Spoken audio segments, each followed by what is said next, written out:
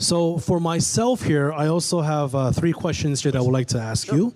Um, so right now, you are the world's first speaker to conduct a speech for the wellness leadership for community, family, kids, and youth.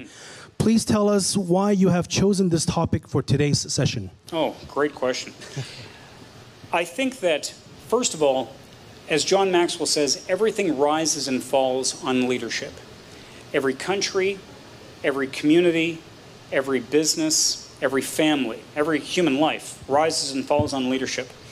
And if we're going to apply leadership in business, if we're going to apply it with the world economy, if we're going to apply it with all of our political relationships around the world, I think first we need to apply leadership with our health and wellness. As I started our conversation at the beginning, if we don't have our health and wellness, we have nothing. So it doesn't benefit the world to make millions of dollars, but you're in a hospital bed with cancer.